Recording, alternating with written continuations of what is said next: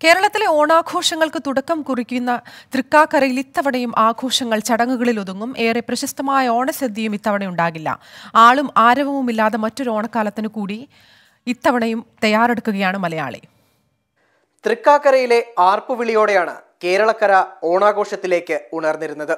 എന്നാൽ കഴിഞ്ഞ വർഷം കോവിഡ് എന്ന മഹാമാരി എല്ലാത്തിനും മാറ്റം സൃഷ്ടിക്കുന്നതാണ് കണ്ടത്. ഇത്തവണയും സമാന സ്ഥിതി തന്നെ. അത്തം മുതൽ തിരുവോണം വരെ ഉത്സവലഹരിയായിരുന്നു തൃക്കാക്കരയിൽ. പക്ഷേ ആളും മാരവും നിറയുന്ന പഴയ കാഴ്ചയല്ല ഇപ്പോൾ. പണ്ട് വർണാഭമായി ഒരുങ്ങിയിരുന്ന ക്ഷേത്ര പരിസരം ഇത്തവണയും വിജനം. കച്ചവടക്കാരുടെ ഒച്ചയും ബഹളങ്ങളുമില്ല. ഈ വർഷത്തെ തൃക്കാക്കര മഹാക്ഷേത്രത്തിലെ തിരുവോണ മഹോത്സവം നമുക്ക് എല്ലാവർക്കും അറിയാവുന്ന രീതിയിൽ കോവിഡ് മഹാമാരി ഉള്ളതിനാൽ ഗവൺമെന്റിന്റെ മാനദണ്ഡങ്ങളെല്ലാം പാലിച്ചുകൊണ്ട് തന്നെയാണ് നമ്മളിന്ന് ഈ പ്രാവശ്യ ഉത്സവം ആഘോഷിക്കുന്നത്. കോവിഡിന് മുമ്പ് കൊടിയേറ്റം കഴിഞ്ഞ് പത്ത് നാൾ തൃക്കാക്കര ക്ഷേത്രം അരങ്ങേറ്റങ്ങൾക്കും കലാപരിപാടികൾക്കും വേദിയായിരുന്നു. എന്നാൽ കഴിഞ്ഞ വർഷത്തെ സമാന അവസ്ഥയാണ് ഇത്തവണയും. അത്തം തുടങ്ങുന്നതോടെ സദ്യ ഉണ്ടായിരുന്ന ഊട്ടുപുരയും വിജനമാണ്. ആഘോഷമെല്ലാം മനസ്സിൽ മാത്രം ചടങ്ങുകളെല്ലാം പേരിനു മാത്രമായി നടത്തും.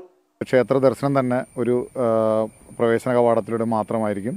അത് കോവിഡ് മാനദണ്ഡങ്ങൾ പാലിച്ചുകൊണ്ട് മാസ്ക് ധരിച്ച് സാനിറ്റൈസ് ചെയ്ത് ടെമ്പറേച്ചർ ചെക്ക് ചെയ്തിട്ടാണ് നമ്മൾ ക്ഷേത്രത്തിനകത്തേക്ക് പ്രവേശനം അനുവദിക്കുകയുള്ളൂ.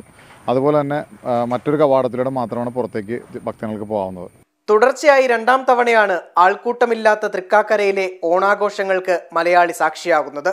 അടുത്ത തവണ ആളും ആരവവും നിറയുന്ന ഓണക്കാലമാകുമെന്ന പ്രതീക്ഷയിലാണ് ഏവരും.